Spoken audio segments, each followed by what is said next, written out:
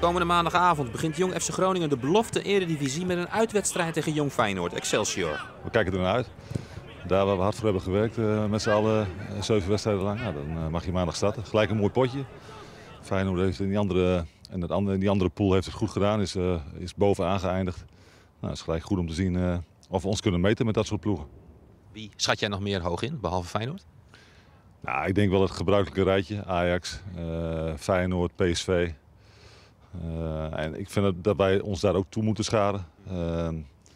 En misschien ook FC Twente. Ik, uh, daar heb ik niet een heel goed beeld bij. Die hebben wat, wat wisselend gepresteerd. Maar die schat ik daar ook wel bij. Jong FC Groningen stond na het beëindigen van de poolwedstrijden bijna drie weken stil. Volgens Lukien heeft zijn ploeg daar geen hinder van ondervonden. Als ik voor mezelf spreek, vond ik dat wel lekker.